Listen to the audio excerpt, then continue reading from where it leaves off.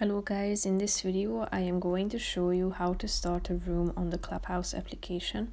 But first I just want to mention, don't forget to subscribe to my channel because at 10,000 subscribers I am going to show you my whole YouTube revenue statistics and growth strategy, how to make money online. So let's jump into it. First of all, open the application on your phone. Tap on this globe icon down below, which is the first option, and then click on the room button down below select uh, from these options tap on the relevant one. As you can see it's now a public room. Tap on the add a room title uh, box and type in the name of uh, your room. Here you can allow replays room chat. You can add links.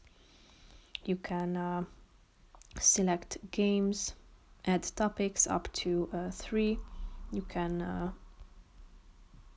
search within them if you would like to by typing in the name of it into the search bar then you can also select the language of the room and hand raising too. tap on start room and here you can uh, find it you are uh, able to add topics add friends connect with more people and so on. So that's how you can create a room on the clubhouse application. So that's pretty much it for this video guys. See you in the next one. Bye bye